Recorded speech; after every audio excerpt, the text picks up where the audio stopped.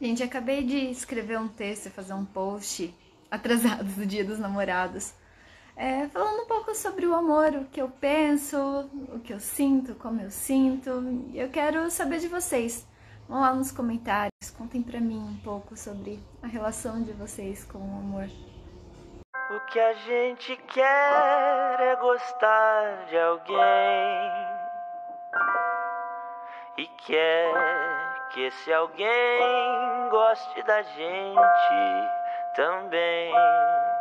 A like community network is made and maintained by two different activities. One is connecting and the other is disconnecting. And I think that the attractiveness of the new type